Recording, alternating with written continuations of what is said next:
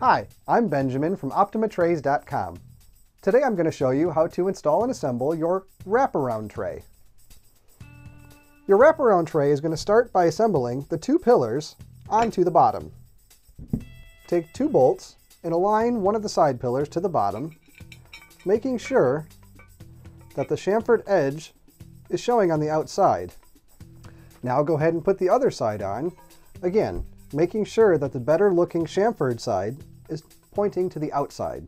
The inside will have the engraved part number.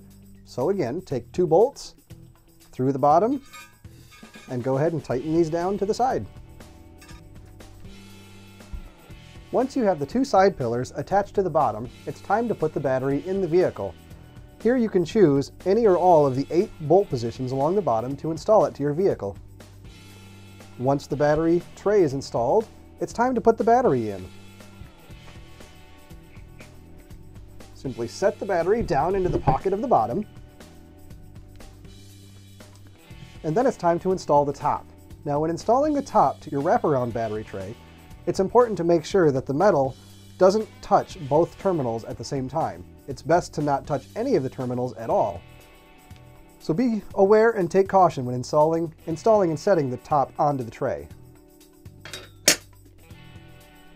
Once the top is on the tray, go ahead and tighten the four bolts and your battery tray will be installed.